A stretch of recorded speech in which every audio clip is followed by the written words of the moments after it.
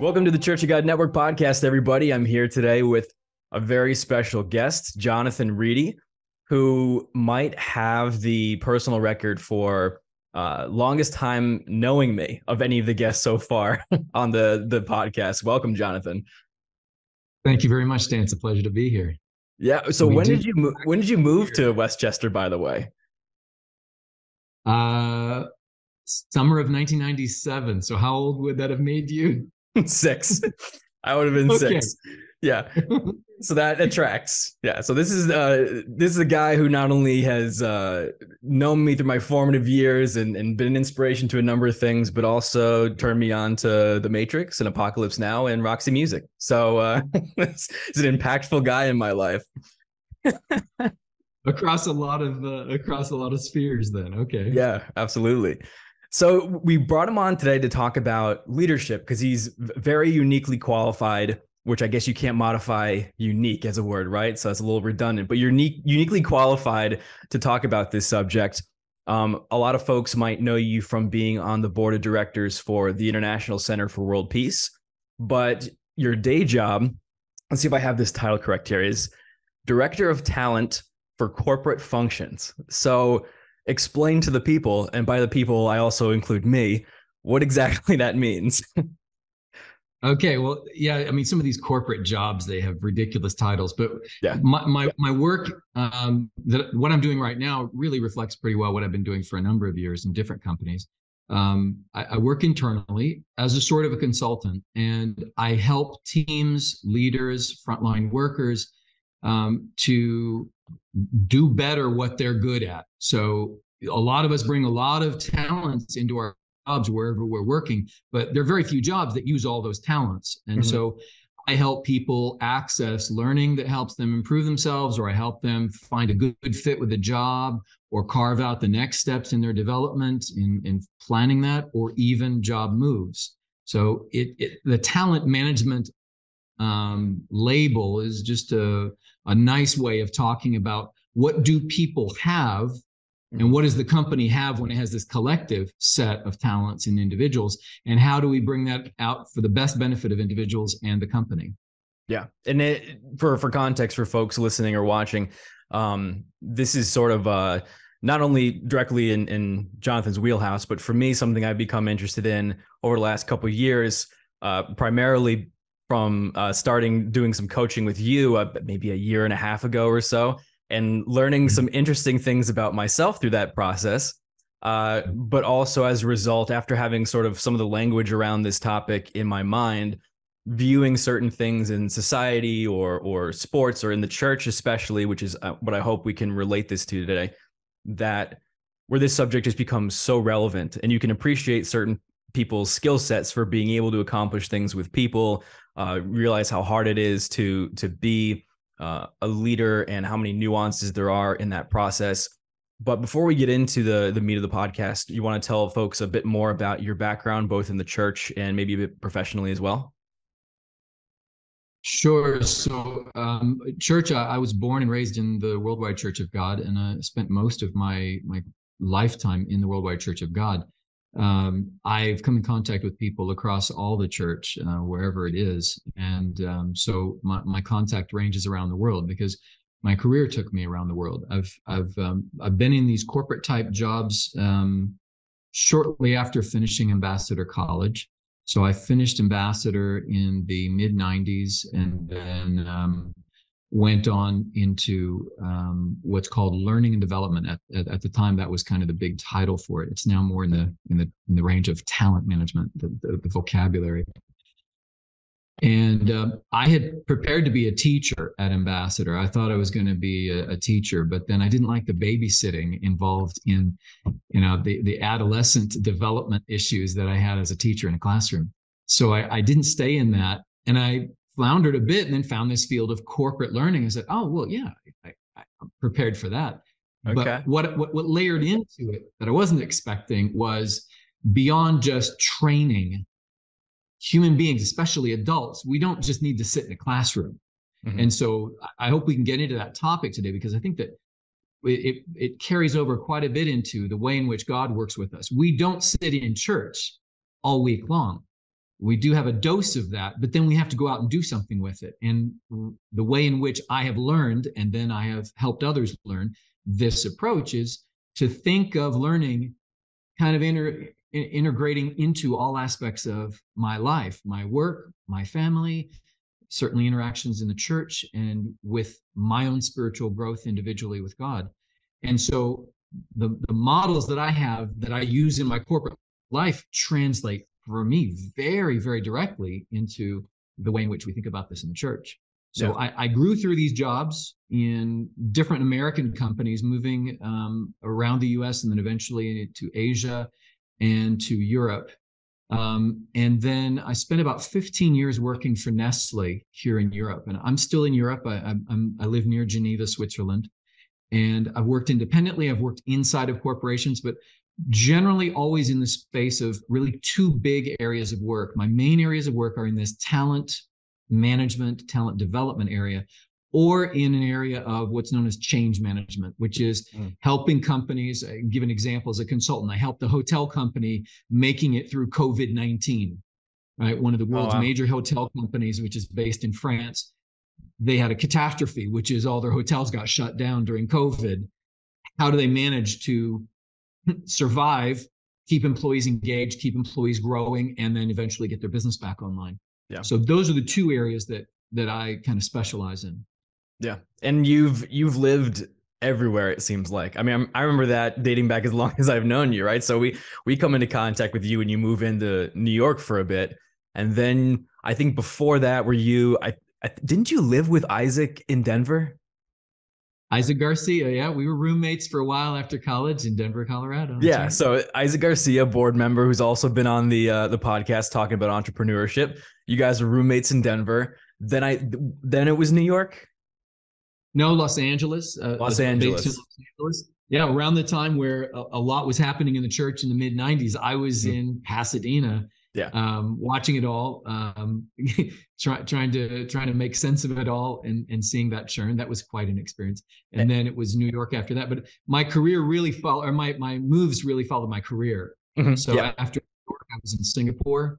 Yep. Came back to San Francisco for a period of time, and then it was in uh, Brussels, Belgium for a few years, then Paris, then uh, the south of France, and now Geneva, Switzerland. Yeah, the Carmen so, Sandiego and, and, of the church. maybe. Yeah. I, I, love it.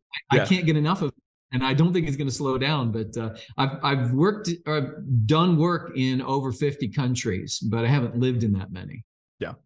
And and it's this subject is is fascinating for a number of different reasons and and also by way of background for you being the son of a minister uh, is also very i'm sure impactful in all this i don't know i don't think we've even talked uh, personally about how that might have affected um, your career choice or how you maybe internalize some of the things you do now having uh, lived with someone who was in a leadership role in the church and and myself while not the son of a pastor the son of a minister i think it does um, influence when you start to think about leadership in your life.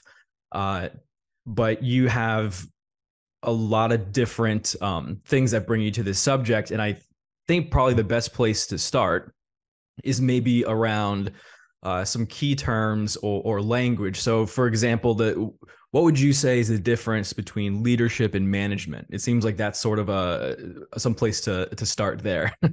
Yeah, well, that's not an easy question to answer. Yeah. Depending on who you're reading, there are different points of view on it. And um, your audience may not be uh, the, the same audience that I'd be speaking to in a business community, but there are certain authors which make a big deal about management and say getting things done is really important.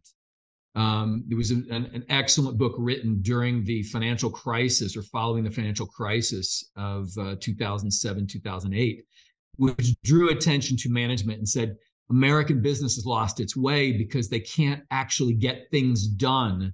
Hmm. And they criticize this movement that started in the 60s in America of just living in leadership theory land. And that Harvard Business and uh, School and, and Wharton and a lot of these schools, which we hold in high regard, did us a disservice in getting away from you got to get stuff done. And there is a thing, a term called man management that just describes getting results through people. Mm-hmm. And it requires systems, it requires structure and governance, and it requires an understanding and an empathy as well. So some people, like these authors and a very famous um, author, um, a professor in uh, Montreal, uh, Macquarie School of Business, um, uh, Macquarie University, Ivy School of Business, um, Henry Mintzberg, he speaks about this a great deal. I'm a big fan of that approach. On the other hand, there's a lot of literature that I also admire and that I've followed and have applied very successfully from people like James Collins, whom I know you know, mm-hmm. wrote a, a, very famous book called Good to Great. Um, and that that school of thought um, of Jim Collins and of Stephen Drucker and Ram Charan and other very well-known authors focuses on leadership and says there need to be other elements that are not just about getting things done but about the the inspirational aspect and the communication what's interesting for me is Stephen Covey, who many people will know from the habits of highly effective people, Stephen Covey, who is n- no longer living, started a movement which his son now leads. And his son, whose name also happens to be Stephen Covey, has recently written about this subject and tried to bring them together. And I like what he's done because he talks about the very foundational aspects, which are really important. And I think this relates to our spiritual lives. Mm-hmm. He talks about trust and inspire. He, he talks about the, the two pieces. And he, you can you can layer on top of that the other things which need to be there. Like I said, the things about getting work done, getting things done through people, the communication and the the vision and so on. But I, I really like how he gets to these very fundamental concepts because trust means relationship. And in fact, trust correlates pretty closely to faith, right? Mm-hmm. And then inspiration has a dual meaning. Inspiration you can be an inspiring speaker. You can be an inspiring leader. You can spark something in others.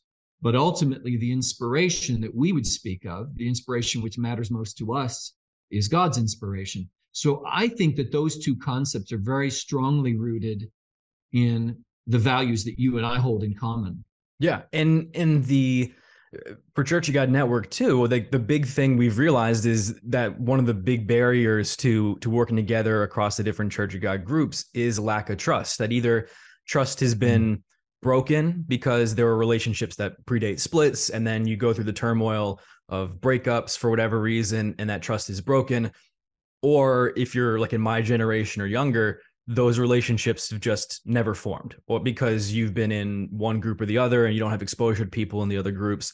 So that trust is hugely important. And i've also found personally that yeah people can get motivated to do things by harping on problems but like the ceiling for productivity is limited with that. Like it, it people respond way more to being inspired or like oh look at all these results. Look how exciting this is uh, almost like the fear of missing out. They get FOMO and they want to be involved. And I actually, I was talking with, I forgot who it was, but you know, I even during worldwide, I think people had plenty of things. Even at the time, they probably didn't uh, agree with 100%. My dad talks about being told you got to throw out your rock and roll records, and he's like, "No, I'm not throwing out my records, man." And I mean, I've got them now in my house, but uh, so but i think people were just so inspired by what they saw and so motivated that they sort of put those things aside and didn't dwell on them didn't let the negativity of that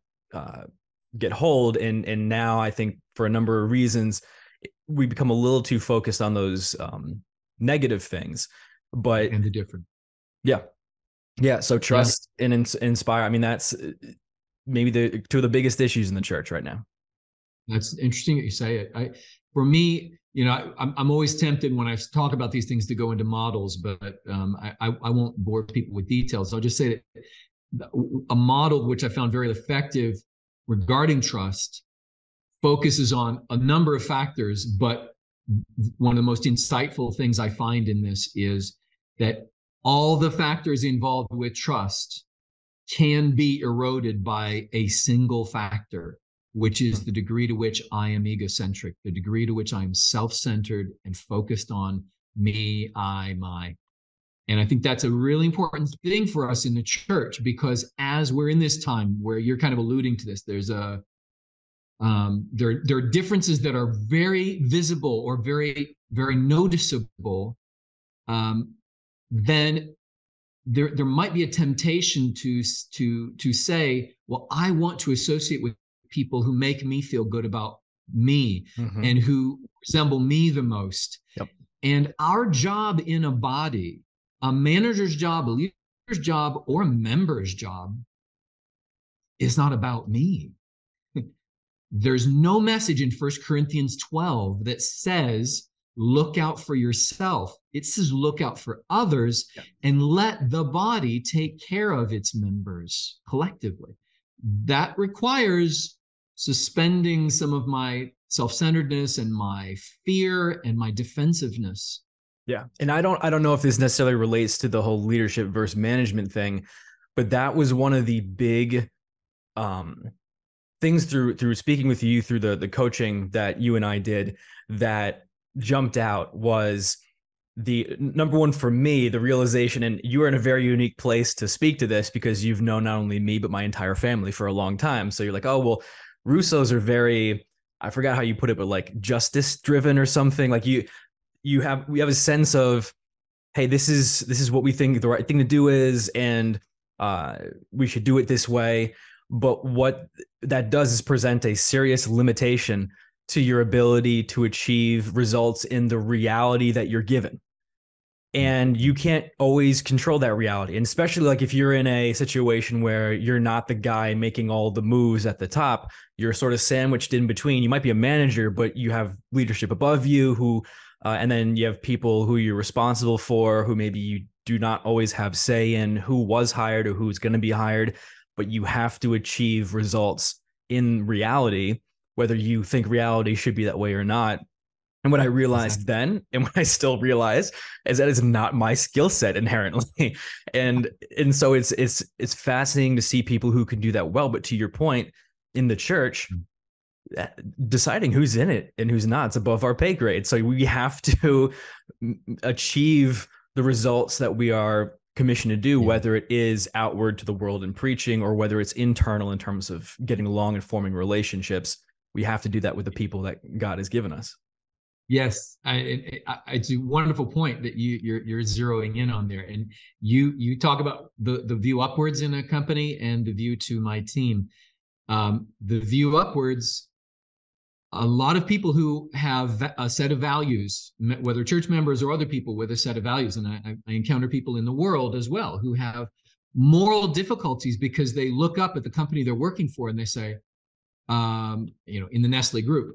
I don't like the fact that we're introducing billions of plastic bottles into the world. I was in the water business for Nestle. They produced billions of plastic bottles every year.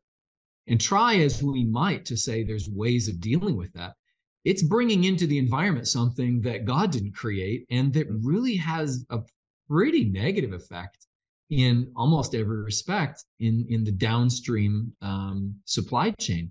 So so we had we had moral quandaries when we look up and, and our boss says do this or don't do that, and we feel like we might be compromising if we if we if, if we don't hold to a principle and we we I think all of us in this imperfect world and in imperfect um, relationships and in an imperfect church find ourselves in that difficulty of saying, well, I don't agree 100% with that. Where's the gray area and where is the hard line which I do not permit to compromise? Yeah, and that's right? and that's a tough thing and I and I'm still I mean I'm still navigating it. I still don't even really know if I have a good idea where where that is in terms of, you know, if you're managing people or managing an organization, where is that hard line of no, we can't tolerate that. That's not what the, whatever the company stands for. This is a hard boundary versus we have to achieve with some folks that not even not even that you don't like them or you don't your personalities don't um, go well together mm-hmm. but they might truly be whatever a, a bad worker or they might have um, a personality that really rubs people the wrong way and one of the things that that you and I talked about and you know I'm I'm passionate about is and I think it got even more intense after speaking with you and learning about some of this, and that is looking at people in sports and especially coaches and how they achieve results with some people that are really whacked out. Like I, I mentioned to you, uh, Antonio Brown, who, for people who don't know, uh, he was a former Pittsburgh Steeler, one of the best wide receivers in the league. And people have been joking for a couple of years now. Mike Tomlin, who's the coach, should be in the Hall of Fame just for keeping Antonio Brown out of trouble for like the better part of a decade.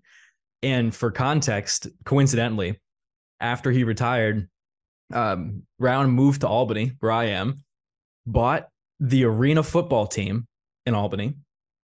And in a matter of months, the Arena League kicked the Albany Empire out of the league because Antonio Brown was failing to make payments to players and co- it's been a disaster. And someone like Tomlin with all these personalities, it wasn't just Brown, it was all kinds of people. How someone can have not even just like hold the, you know, keep the ship afloat, but have a lot of success with difficult personalities. And it almost, you mentioned before, um, that the whole leadership view is a little bit more, I don't know, ethereal or hard to quantify than the whole management, where you might have metrics you can use or easier to sort of wrap your your mind and your arms around. Whereas this leader, this leadership ability almost feels like magic to me. Well, you know, there are books written. Leadership is art. Leadership is jazz. Um, they're, they're, it's it's recognized uh, one of my favorite books is um, First Break All the Rules, written mm-hmm. by Marcus Buckingham.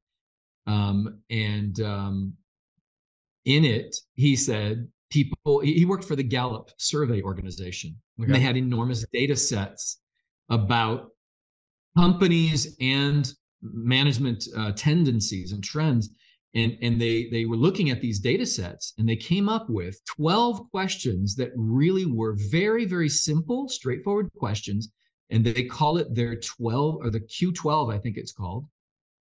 12 questions which correlate to great performance and a lot of them come down to the individual supervisor or manager and what that person does for the conditions of the team and Marcus Buckingham, in writing this book, he talks about those questions. But one of the most important things he says is we misapply the golden rule when we try to manage. We often say, well, the golden rule says, do unto others what you would have them do unto you. But he says, it's not about how it's done, though. And so he says, for example, what motivates you and gets you lit up for your work every Monday morning is probably not the same for most members of your team. And if I approach my team with the mindset of, I know what I want to do this week, I know what excites me, and I want, I know the way in which to transmit that message to me that's the most motivating. I'm, I'm probably going to demotivate a, a good number of my team if I'm using the thing that works for me. So that's, I think, why what you're saying is true there's no formula. And Marcus Buckingham's conclusion in this book is look at the stories of all these managers that we surveyed and then he interviewed in restaurants, in corporations, in sports teams. And he said, the only thing you find in common is the things that Stephen Covey would talk about empathy, self awareness, awareness of others, awareness of my impact on others, listening, a posture in which I'm asking open questions, in which I'm giving somebody the space and the legitimacy to bring to me their best. And I set the table, I open the door, I facilitate, but I don't commandeer. I don't grab the steering wheel in their career or in their thinking and say, I know you just let me drive. Yeah. And I think that is the challenge, isn't it? Yeah and it's and it's amazing. I mean number one the the all those traits should resonate with people as as uh, integral aspects of conversion in terms of like sort of prerequisites for our own ability uh, to to see where we're falling short to to um, uh, address the issues we bring to the table surrendering to god to allow him to create the the nature of christ. Sort of you need those traits individually in your in your relationship um, in your conversion experience with God, but when dealing with other people, and the the thing too about all this is that it also speaks to you mentioned a culture of not only motivating people, but what I hear in that too is freeing people to do their jobs too, like to either succeed or fail and not micromanaging the situation because this is how it needs to get done or whatever. And one of the things I've thought about for a while regarding the church was that, you know, in reality, the the church is like a special forces unit. Like the the God is calling out a a people for a very specific purpose and task, and He wants highly trained people uh, in that body. And the same way, uh, if you're going into battle in in the military, you can't be so dependent on the leader where if he gets shot, well, he's the only one who knows the the objective and and the plan and what we're supposed to do if we miss our drop zone by five miles. Like you you need leaders to lead and to train you but then when when you go out into the the real situations you want individuals who can make decisions on the fly and with changing information I, I would i would imagine too and and be effective. You wouldn't you don't want to create dependence. Uh, could you speak a little bit to that phenomenon? Because i see that a lot. Yeah there's there's a lot of lessons that are drawn from the military. Um, there's there's a book that came out uh, not too long ago called team of teams in which um, a former general writes about how exercises worked right? And then the real the real um, battle scenarios um, that as they played out beyond exercises in the in the real battles. Um, but the common theme is what you said that life is unpredictable, life is messy, and no way can you have somebody who is in the face of real danger turning around and saying, "What do I do?" What and and dependent on somebody who has always dictated or all, always held my hand or held the back of the bicycle seat and never actually let me pedal, let me skin my knee. The, the, one of the one of the unusual things, and I would say this is a real irony and a challenge for us in the church, is a great enemy of great leadership is perfectionism. Mm-hmm. Now we use the word, we read the word perfect over and over in the scriptures, right? The book of James full of the word towards perfection, moving towards perfection, etc. But perfectionism, no. God knows our frame, right? Remember the psalm, he knows our frame. And among our frame is uh, what Paul struggles with and what he writes in Romans 7, having mm-hmm. struggled with, is I can't make myself always do what I know and what I've studied and what when I was praying this morning, what I knew very clearly in my mind I was going to say and do today. And so as a leader of people, or let's say just as a member impacting my fellow members, which is leadership as well, mm-hmm. expecting perfection and being let down by a lack of perfection is the wrong approach. What mm-hmm. we need to do is expect imperfection. In fact, uh, I had a, a, former boss whose favorite phrase was that the natural result of human communication is misunderstanding. So even being understood is is is an expectation I need to mitigate. I, I may not get my message across because there's a lot of stuff between what I'm thinking and what they're thinking, and yeah. all the mechanisms that we have of transmitting and receiving that message. Did, did you hear? Um, so we have a, a mutual friend who actually has also been on the podcast, Bob Usey. Did you hear um his statement several weeks ago about expectations because it's like perfect. It's it's in my memory bank forever now. It's um expectations are premeditated resentments. Wow. which is which is great. Because Bob's always got those nuggets. Yeah, and and yep. it's and it's true though because again it's whether it's uh, in my experience relation like romantic relationships or intimate relationships and families you have expectations expectations usually that are not articulated or not articulated well and then the person falls short either whether they understood the expectation or not uh, and and all of a sudden it's not just okay how do we correct this to get to the next stage? Then it's like a resentment. It becomes an emotional issue. Maybe even a, it gets moralized. And that's um and that seems to be a, a big challenge the moment you bring in it becomes not just this purely professional thing, but you get into spiritual matters and matters of character.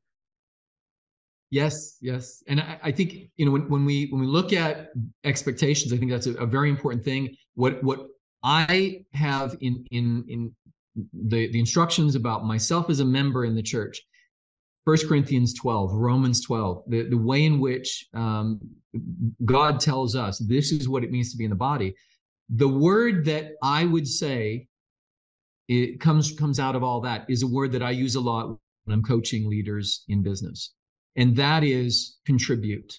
Mm-hmm.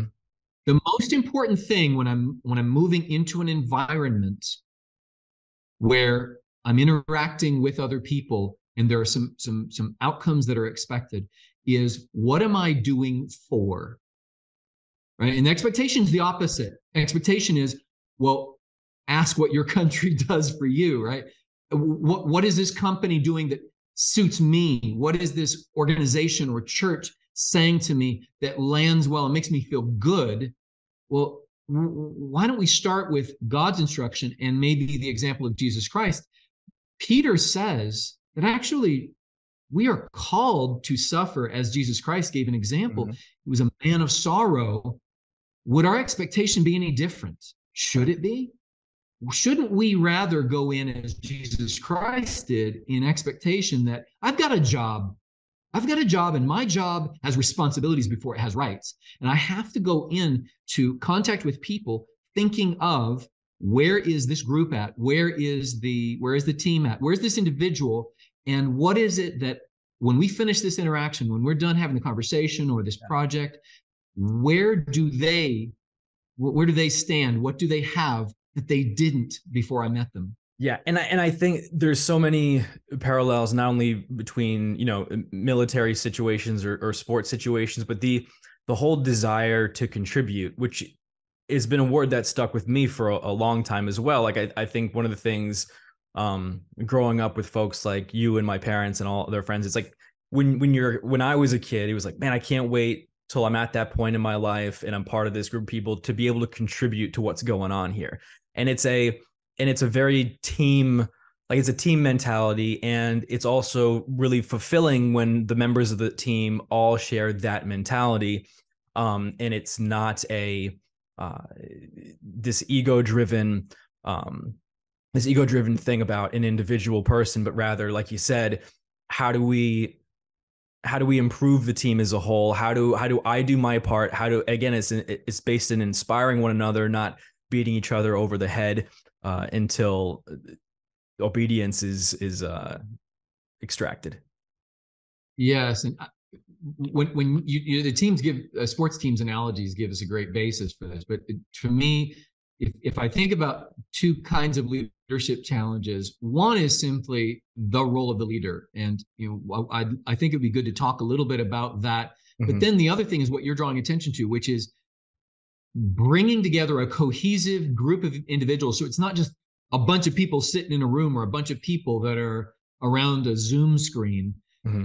but a real team, a real cohesive unit, an organism, not an organization, right? That lives together, that works together, and that have synergies that actually can have force multipliers because they do together better things than any of them did individually. Yeah. Forging that as a leader is a challenge. The first part, the leader's part alone, is hard because, in my view, leaders have to set a vision, then they have to communicate it, they have to translate that into a strategy. The strategy has to be set into an operational plan because dreaming about a vision and a strategy, I've had some great leaders who've, who've helped me understand this you know, we, we, we would do offsite meetings. We'd bring in consultants and we'd have a vision at the end of a day and a half. And you have this funny language that's used in vision statements, right? And it's usually a bit awkward and a bit over wordsmithed, right? Mm-hmm. You go, yeah, that's our vision. Okay, give it to the communications people and everybody will start memorizing that. Yeah. But what is that really? It's, it's words. And, and by the way, anybody could come up with a vision statement, right? Coca-Cola, Disney, they, they just they manufacture a vision statement. The question is, what do you do with that? Well, you got to build a strategy. But then a strategy, again, consultants or strategy teams, they build it. It's not yet reality. Nothing's mm-hmm. been done yet. To actually get things done, a leader's got to take a strategy and turn it into an operational plan, which means what are the resources needed? How are we going to know that we are moving the needle? Who's got what competencies that do certain things better and that I, I really ought to bring in on this kind of work how do i sequence their efforts and how do i bring them together in ways that that is absolutely impossible to copy from another company. It's impossible to do quickly. It's impossible to do easily. Most leaders struggle with that. And there are books written about it called execution, right? And I've been in companies, been in the company that the gentleman who wrote the book called Execution said he turned into an execution focused company. I was there 10, after, 10 years after he wrote that book, and he did not succeed in making that company sustained execution focused company after his departure. Yeah. And so it's it's an enormous challenge. That's leadership. But then the other side of it is then what about bringing people together? Because people individually are not what makes performance. They're not what makes great outcomes. It's the you and I have talked about a, a model that is is um, a credit to Patrick Lencioni, um, which talks about five sequential things that teams have to build in order to get the real results that you want. Guess what it starts with? It starts with trust. Mm-hmm. Leaders building trust between other people starts with the leader showing trust and showing trustworthiness. Mm. But then, how do you actually help people get along? How do you deal with conflict? How do you foster healthy conflict mm-hmm. and not unhealthy conflict? My favorite phrases, yeah how, how do you get people to share responsibility and not feel territorial? How do you get people to look at one another and appreciate you do something better than I do? And I look up to you for that. I esteem you better than myself on that. And when you have that, again, you, I also think when you have that kind of, I don't want to say goodwill, but when you have that, it really is a form of love for one another. You tend to more willingly um, help someone out when their mistakes come to light because we all as workers have certain things we don't do well and if you have an environment where the leader is not making you petrified of failure or petrified of making a mistake and you, everyone on the team can say look this is what i think i do well or they could tell you this is what you do well this is what you struggle with if there's that sort of openness or that that positive um, atmosphere around one another you're probably more likely to say, okay, well, I know Jim doesn't do this well, but he's really good at this. Let me supplement this. Let me do a little bit more work here because someone has to, and we're a, we're a team. And again, it's that love covers a multitude of sins sort of uh, attitude where it's it's a posture we all should be having towards the work that that God has given to us. Yeah, I think in, uh, what I would what I would heartily agree with is our feet need to be planted on love mm-hmm. in order for that all to work. Um, I, I in a company where I am right now, the head of human resources, uh, who is new, has just made a statement saying we need to have a feedback culture. I want to I want to make us a feedback culture. But unfortunately, it's a company in which there is not sufficient trust. Mm-hmm. So what happens when I receive feedback in an environment where I don't have trust? I'm not listening. I'm going to defend. I'm going to feel conflict. like he's trying to, he's criticizing me or perhaps yep. trying to do something even more sinister. I don't trust the motive or the means in which the feedback is being delivered. So our feet being planted in love is the first thing. And what, what I wanted to comment on is I've got a couple of stories in mind. It's always good to root this in reality. One is a recent church story and one is a business story, which may bring to light uh, some of this. And it links to what I was saying earlier about our natural tendency to be egocentric, self centered, and so on. Trust is built on a number of factors and it's eroded by the degree to which I'm selfish or self centered. Well, I came away from a recent um, meeting with a number of church members, and it was a church area where I've visited a number of times and know the members very well. And it wasn't until I was praying and reflecting on this visit weeks later that I realized there is a person who's consistently exhibiting a behavior. I was trying to understand why it is that the, the, the meetings where this person is present aren't as fruitful, where the brethren are not learning as much and they're not as actively involved with one another in conversation. And then I realized it's because there is somebody in the room on those occasions who is choosing to behave in a way that's all about her. And so she will make statements or comments that turn the conversation towards her and then bring it onto a topic that's interesting to her, but that's very evidently uninteresting to everybody else in the room, mm-hmm. or it's in a way, in a tone or a tenor that is just not working for others. And others are trying to transmit that message to her, some of them more directly, some of them more um, indirectly. But it, the message isn't landing. And, and the unfortunate thing is that that church area is, is, is experiencing when that person is present, that church area is experiencing a, a, a real um, downturn in the the healthy dynamic and the the dynamic love and giving and and iron sharpening iron that I see on all the other visits. Mm-hmm. And so I, that's an example. And I remember years ago, a colleague of mine, uh, we came out of a meeting, and it, I'll, give you a little context. He's somebody that I highly, highly regard, and he's gone on to be successful um, beyond the Nestle group. But we were in the Nestle group, and I was I, I moved to a new office here in Switzerland where I was working with him for the first time. He and I had not worked so closely together before, and he was struggling. And he was about to leave the company, and he didn't know it yet. And my coaching helped him leave the company mm-hmm. because I, I I had seen him over the years, and I'd seen him becoming more and more frustrated, looking up and looking around and saying, I am a man of principle, and this company is not doing the things that I know it could do and that I'd like to be doing for it. And he was he was in a position to be impactful for the company, but the company wasn't welcoming of it. And instead, people were were shutting him down, and people were saying, "No, that's not where we want to go. That's not what we want to do."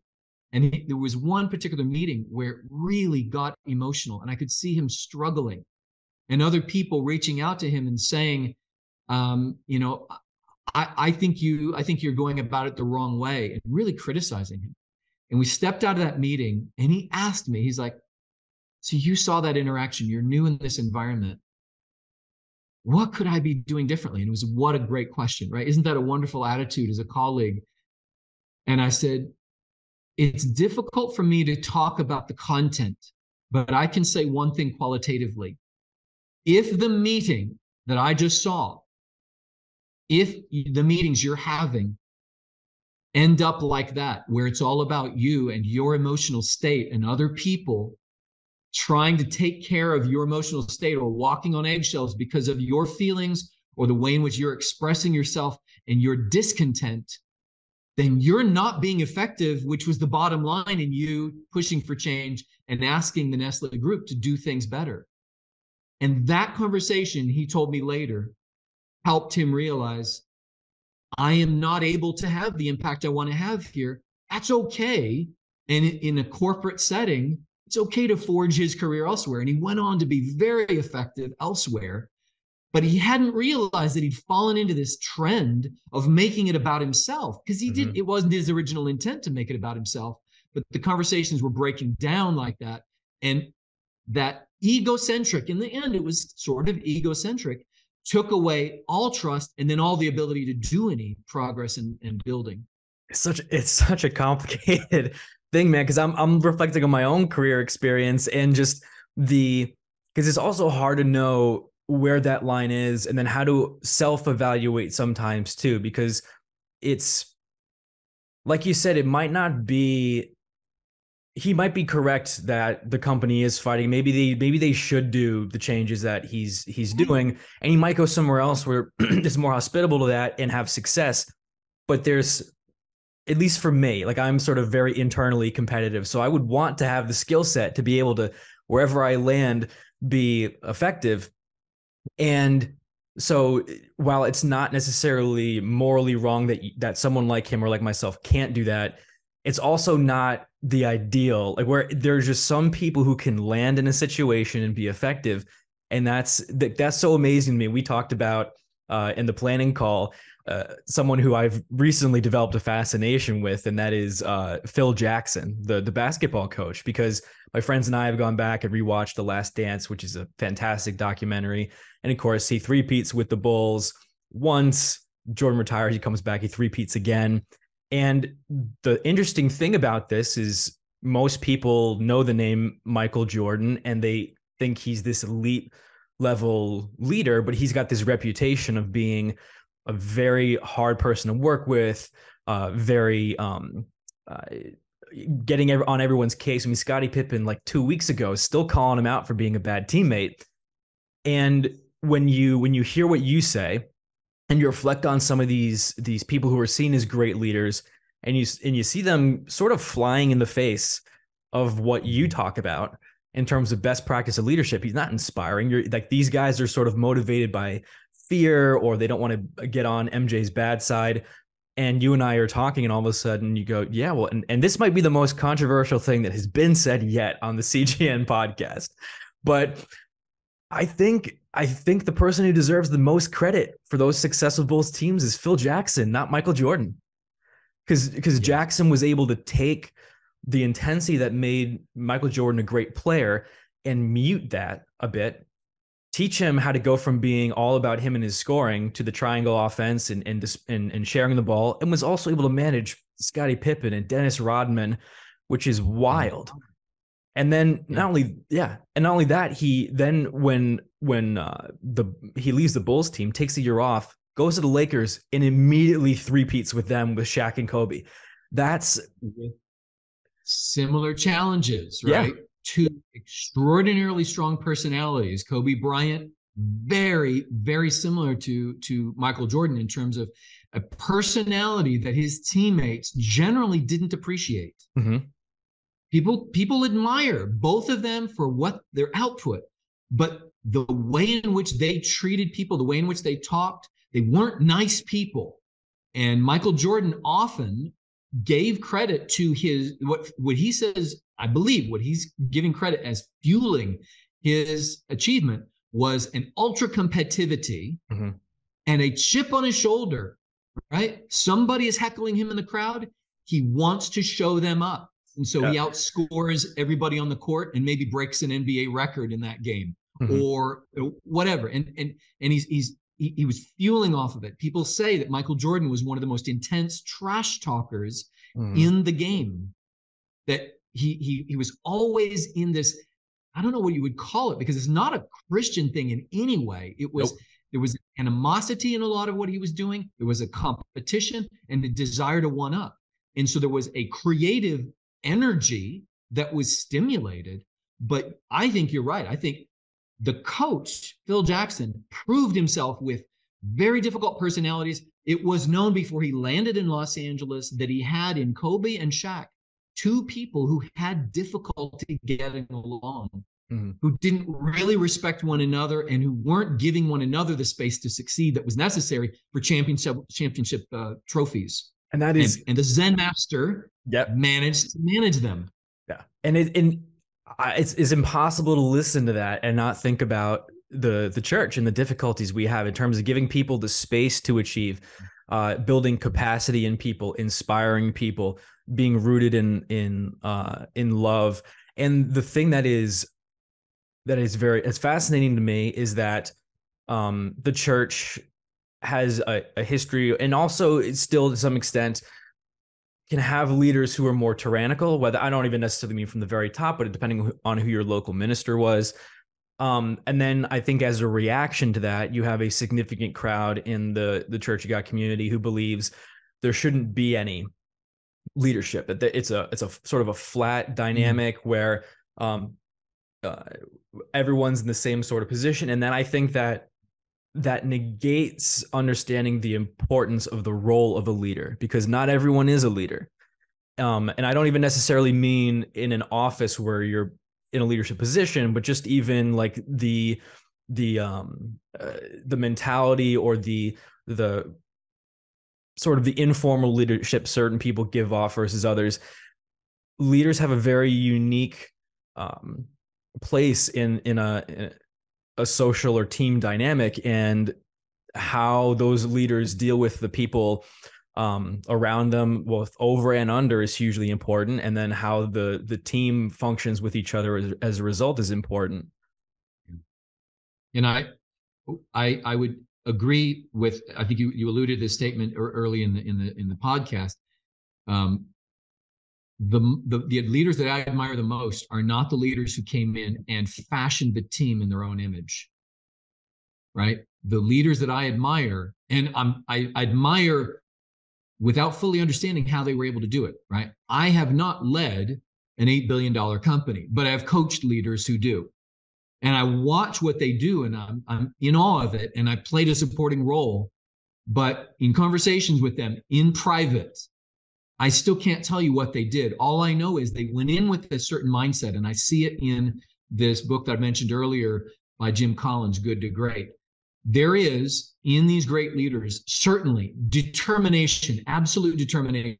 When they set a goal, when they get the data and they know we can do that, they are determined and they stay with it and persevere and bring together all the elements will let them succeed but they remain humble throughout. They will not believe themselves to be the smartest person in the room. And that gets to, I think, what you're, you're talking about. Moses facing in the desert, facing rebellion. Again and again, the scriptures in Numbers say he fell on his face. He fell on his face. How much of a, how clear of a leadership message is that?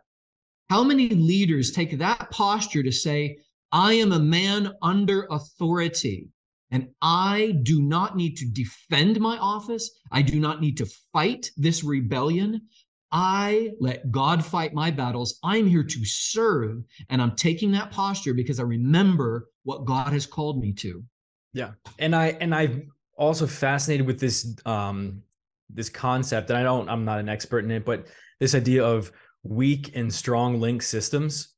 And uh, the for example you know a strong link system would be if you're on a basketball team they tend to be strong link and you have a great player you can funnel the ball to the great player. And if you have a weakness if your small forward isn't very good you can just not give him the ball and you're in control the offense so you could for the strong link leads the team Whereas there are certain things where if the whole system isn't functioning, if you're only as good as the weakest link in that system. And I think the the church and really any company, I think Jim Collins speaks to this a bit, that you can have a company achieve a lot, but then when that leader dies and the company sort of falls apart, it's not really a uh, great company. It was built on this one person's image or mystique or whatever because i think they built it like it was a strong link system that there are several people who drive this company's success and you could be a hanger on someone who's uh, not really uh, contributing and we can make up for that.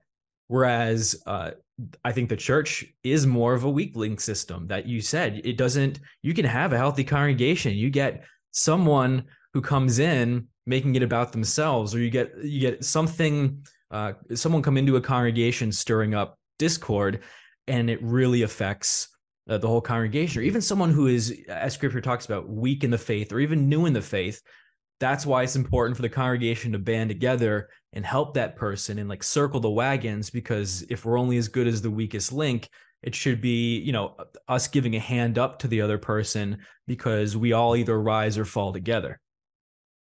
Yeah corinthians in, in Corinthians, Paul is going directly at that point, right? He, he first talks about this with the man who's caught in in sin, and the church hasn't put him out, and he calls on the church, not the pastor. He's not addressing the pastor in First Corinthians five. In fact, throughout the letter, I have trouble finding the pastor, right? But mm-hmm. First Corinthians five, he's saying when you come together, right? The Old Testament, if someone was was caught in a capital sin, the congregation stoned that individual worthy of death.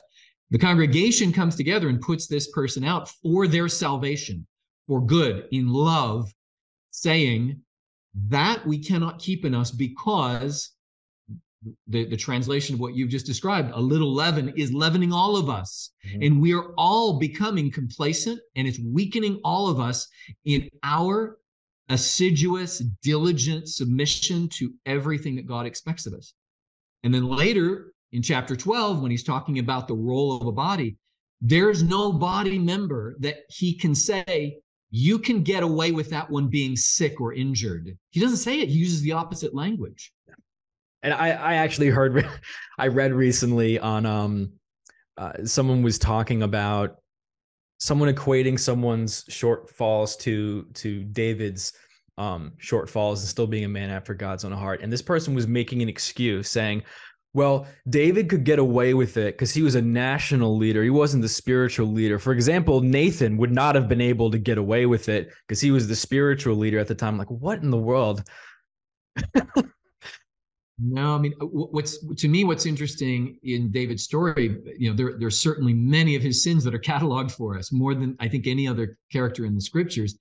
So for God to call him a man after his own heart means that it's not about the number of right. sins um, but rather the posture. And we keep yeah. talking about posture. I think it's important. David's reaction to rebuke was different from Saul's mm-hmm. night and day. Saul defended, Saul excused, Saul justified or blamed. And David said, no, no, that's on me. You're right. And, and then when he saw in the census, the sin with the census, he saw the, the people of Israel suffering. Even though when we read the context in the two passages carefully, it says that God was seeking to, to uh, to deal with the sin in Israel, David takes accountability. He says, How can my sheep be suffering because of my misjudgment, my error? And he he humbly makes it his responsibility to right that. Yeah. Um, but I think when we think about David's sins, one of the one of the more important things is that David never sought to to to use his privilege to get away with it. Right? When Absalom was chasing him, he didn't exercise his rights. He sought to love, right? He never tried to say, I deserve better. I was anointed. Absalom wasn't. He never said that. And he also, because because again, he was someone who was firmly rooted in reality. Like I think a lot of these leaders are, because he he knew this was the heir of what he did with Bathsheba. That that there would be conflict in his house. So he has his one of his sons rapes one of his daughters then Absalom reacts to that, and it's this never ending cycle. But David, I think, was very like, okay, this is the situation. Unfortunately, like God, God might, um, uh, I might have been repentant, and God might see me uh, as a man after His own heart. But there is a there is a reality to the decisions that were made, and a reality to the way things are right now that cannot be avoided. I can't just lament it and say I wish things were different because it's not going to change anything. And I think in the church, it's similar that at this stage with um, the divisions and the challenges we face, uh, I think a lot of people say, well, it shouldn't be this way, and we should be able to do X, whatever it is. Be able mm-hmm. to talk about X.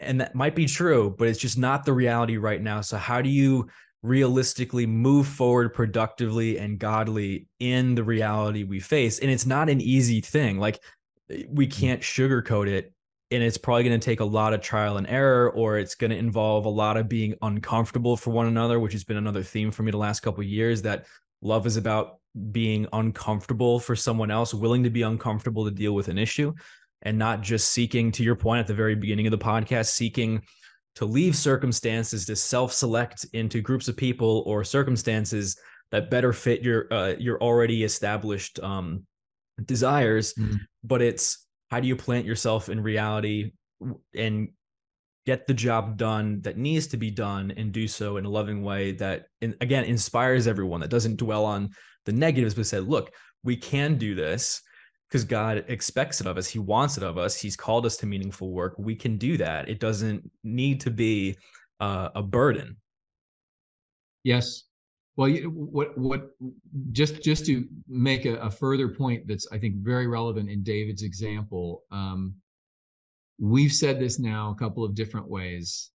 It's not about the leader. It's not about me as a member. It's not about the self. And when David was rebuked by God through the prophet Nathan, the thing that God really brought across in that message wasn't the dis- discrete piece of a sin of adultery or murder, but the point of saying you have given reason for the enemies of God to blaspheme. The greatest sin, it, it, it's kind of the counterpoint to Jesus Christ saying, By this shall all men know. God very much wants us to be lights. He expects that our actions bring into this world right? Like the, the moon brings the sun's light into the night, bringing into this world a light that the world does not know yet. And whether it recognizes it or not, God expects us to bring it as a witness. And where we fall short is where we break down. Not loving has a lot of consequences. And one of them is God's not able to do what he wants to do through us towards a whole lot of others whom we not may not even be aware of. We may not even be consciously engaging, but God is or wants to. And so I think this is this is so much bigger than us. And that's what at the end of Moses' life, when he and Aaron did what they did, God said the same thing to them. When they did what they did at that rock, God's correction to them said, you didn't you didn't show my people my glory you failed to reflect my glory it wasn't the it wasn't the anger or the impatience that god criticized he said you lost the plot the the, the objective for me calling you isn't this moment that's so difficult for you. It's a greater purpose where God's work in all time is salvation. And it's not salvation of the first fruits, it's salvation of everyone. We being a vehicle through which he does that. And so for us, when I think of leadership, and again, leadership in the broadest sense, we have to step up to what God gives us, whether we're perceiving a bunch of people reporting to us and being paid by us or not the leadership that we can do or that God can accomplish better, that God can accomplish through us, we may not see, we may not know, but let's get on our knees and let's humble ourselves before God and say, please get me out of the way. Please use what you want in me. Please use what you put in me that you want to use. And please, whether I understand it or not, help me to, to, to be a useful instrument for you doing that great work that only you see with full clarity. Amazing. Agree 100%. Great great way to end, man. That's like I can't think of a better way to end the episode than with that. Great admonition to to close things out. But uh, we could I mean this is a topic that's so important. I don't know if it ever gets less important um no, no matter what the situation we're we're facing, but you probably have a podcast uh, dedicated to this subject only and have plenty of material uh, for the rest of eternity. So, but we're, we're really we're really glad you came on, Jonathan. Really appreciate your time and uh, your insight. Well, it's a pleasure. It's, uh, it's obviously we uh, we didn't find it difficult to to talk through issues on this, and so uh, no. I, I, I hope that you and your audience keep keep probing on this and keep letting God open that topic up for us. I think there's a lot for us to gain. Absolutely. Take care, everybody. Thanks. See you next time.